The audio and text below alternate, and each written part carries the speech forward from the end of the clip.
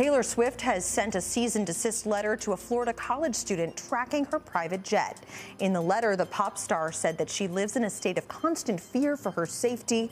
The student who runs the tracker gained popularity for using social media accounts to track movements of jets linked to famous individuals, notably Russian oligarchs.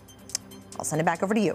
We've seen this before. It makes me think about Elon Musk's exactly. jet as well. Mm -hmm. Okay.